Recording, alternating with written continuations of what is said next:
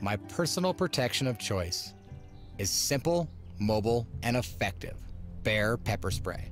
And most importantly, it's never out of reach. This is not a spot that the bears are used to people being, so I'm gonna go a little slower. I'm gonna pay attention. I'm actually gonna take this off, because if something happens, it's gonna happen pretty quick. And I've had to take the safety off a few times. Now, this is a little bit too close for comfort.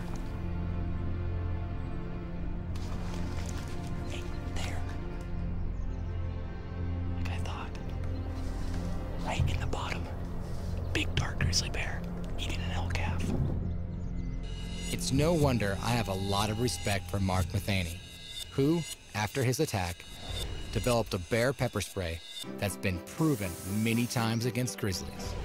Bear spray really works on the mucous membranes and it works on their nose mainly. So you take away a bear's keen sense of smell, now you've got one worried wild animal. They rely upon that, that's their eyes. I've read that grizzlies have an incredible sense of smell. But I never truly understood this fact until I visited Dr. Heiko Jansen's brain lab at Washington State University. This is uh, our first brain specimen, a human brain.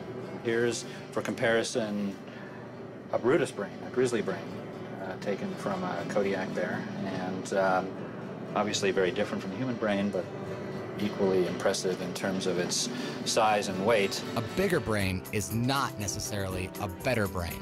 Brains are suited for different tasks. And the task that a grizzly bear is suited for is finding food.